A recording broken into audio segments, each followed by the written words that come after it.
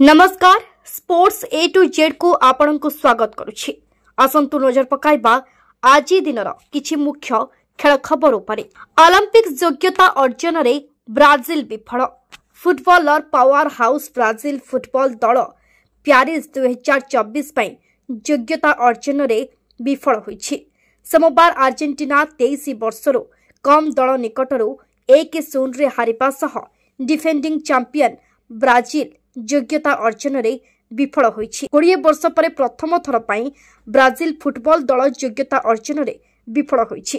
ଦୁଇହଜାର ଚାରିରେ ଶେଷ ଥର ପାଇଁ ଦଳ ଯୋଗ୍ୟତା ହାସଲରେ ବିଫଳ ହୋଇଥିଲା। ଉଣେଇଶହ ବାଉନରେ ପ୍ରଥମ ଥର ଅଲିମ୍ପିକ୍ସରେ ଅଂଶଗ୍ରହଣ କରିଥିବା ବ୍ରାଜିଲ ଦୁଇଥର ସ୍ୱର୍ଣ୍ଣ ପଦକ ହାସଲ କରିଛି। ଦୁଇହଜାର ଷୋହଳ ରିଓ ଏବଂ ଦୁଇହଜାର କୋଡ଼ିଏ ଟୋକିଓ ଅଲିମ୍ପିକ୍ସରେ ଦଳ ସ୍ୱର୍ଣ୍ଣ ପଦକ ହାସଲ କରିଥିଲା। ପାନ୍ ଝାଲ୍ଲେଙ୍କ ବିଶ୍ୱ ରେକର୍ଡ। କାତାରରେ ଅନୁଷ୍ଠିତ ବିଶ୍ୱ ସନ୍ତରଣ ଚାମ୍ପିୟନସିପ୍ର ପ୍ରଥମ ଦିନରେ ବିଶ୍ୱ ରେକର୍ଡ କରିଛନ୍ତି ଚାଇନାର ପାନ୍ ଝାନ୍ଲେ। ଶହେ ମିଟର ଫ୍ରି ଷ୍ଟାଇଲ୍ ସନ୍ତରଣରେ ପାନ୍ ଝାନ୍ଲେ ଛୟାଳିଶ ଦଶମିକ ଆଠ ଶୂନ ସେକେଣ୍ଡରେ ସମୟ ନେଇ ସ୍ୱର୍ଣ୍ଣ ପଦକ ହାସଲ କରିବା ସହ ବିଶ୍ୱ ରେକର୍ଡ ନିଜ ନାମରେ କରିଛନ୍ତି। ପୂର୍ବରୁ ଦୁଇହଜାର ବାଇଶରେ ରୋମାନିଆର ଉଣେଇଶ ବର୍ଷୀୟ ଡେଭିଡ୍ ପୋପୋଭିସି ସତଚାଳିଶ ଦଶମିକ ଏକ ତିନି ସେକେଣ୍ଡରେ ଟାଇମିଂ ସହ ରେକର୍ଡ ନିଜ ନାମରେ କରିଥିଲେ। ରାଜକୋଟରେ ପହଞ୍ଚିଲା ଇଂଲଣ୍ଡ ଦଳ। ଏକ ସପ୍ତାହର ବିରତି ପରେ ଇଂଲଣ୍ଡ କ୍ରିକେଟ ଦଳ ପୁଣି ଥରେ ଭାରତରେ ପହଞ୍ଚିଛି। ପାଞ୍ଚ ମ୍ୟାଚ୍ ବିଶିଷ୍ଟ ଟେଷ୍ଟ ସିରିଜ୍ ମଝିରେ ଇଂଲଣ୍ଡ ଦଳ ଏକ ସପ୍ତାହର ବିରତି ନେଇଥିଲା।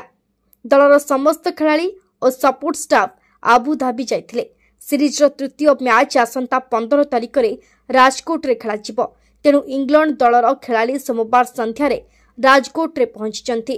ସିରିଜ୍ ବର୍ତ୍ତମାନ ଏକ ଏକ ସ୍ଥିତିରେ ରହିଥିବା ବେଳେ ତୃତୀୟ ମ୍ୟାଚ୍ ରାଜକୋଟରେ ଖେଳାଯିବ।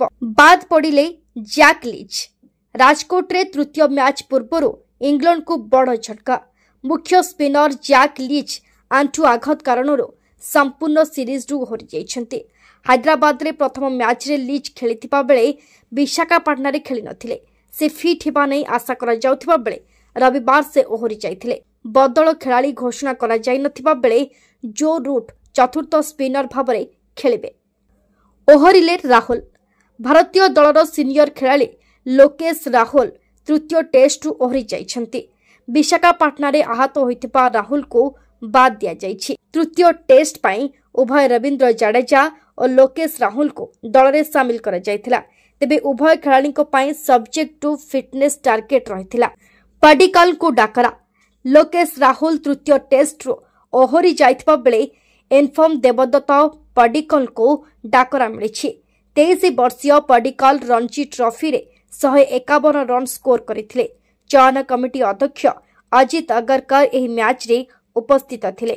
ଏହା ବ୍ୟତୀତ ପଞ୍ଜାବ ବିପକ୍ଷରେ ଶହେ ତେୟାନବେ ଓ ଗୋଆ ବିପକ୍ଷରେ ଶହେ ତିନି ରନ୍ର ଇନିଂସ ଖେଳିଥିଲେ।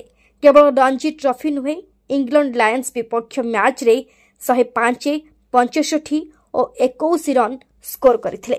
ଆଜିର ଏପିସୋଡଟି କେମିତି ଲାଗିଲା କମେଣ୍ଟସ୍ ମାଧ୍ୟମରେ ଜଣାଇବାକୁ ଅନୁରୋଧ। ସ୍ପୋର୍ଟସ ସମ୍ପର୍କିତ ଅଧିକ ଖବର ପାଇଁ ଆଜି ହିଁ ଆମ ଚ୍ୟାନେଲକୁ ଲାଇକ୍ ସେୟାର ଓ ସବସ୍କ୍ରାଇବ୍ କରନ୍ତୁ।